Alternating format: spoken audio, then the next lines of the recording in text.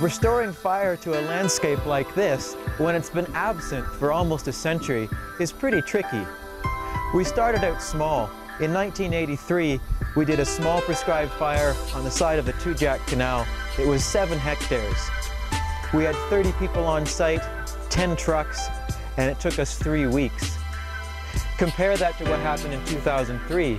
We burned that same seven hectare space in an afternoon with a handful of people and one small truck. We've learned a lot in that time. 2003 was also the year that we lit one of the biggest prescribed fires in the Bow Valley, the Fairholme prescribed fire. And you can see evidence of that fire right here. It burned from here at Johnson Lake almost all the way to Canmore, 20 kilometers along the Trans-Canada Highway. Since the Fairholme burn, we've continued our prescribed fire program and had lots of success.